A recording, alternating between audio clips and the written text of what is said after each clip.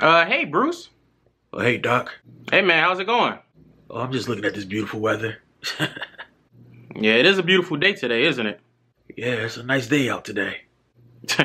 nice day to watch some basketball, am I right? you already know. I watch every single game. Who's your favorite player? Oh, man, uh, LeBron's my favorite player. Uh, of course, LeBron James. hey, how about them Lakers, though? Hey, man, uh, hey, they could do better.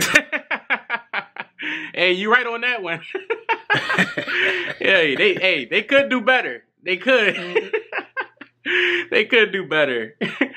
Uh, just like you, um, we just found out that you uh you have stage four lung cancer.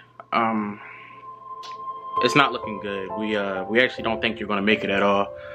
Uh, we believe you should contact your family um to inform them. Uh, it's bad. Um, when they showed me pictures of your lungs, I thought it was raisins. Uh, it turned out that it wasn't raisins. It was just your lungs. Um, they passed me the paper to look at it of the x-ray and I just I passed out immediately. Um, when I woke up, I read the documents, found out that the cancer is actually spreading to about 35 organs. Um, I'm a doctor and I didn't even know people had 35 organs, so this was actually uh, crazy to me. Uh, I know your favorite player is LeBron, but you should probably prepare on me and Kobe.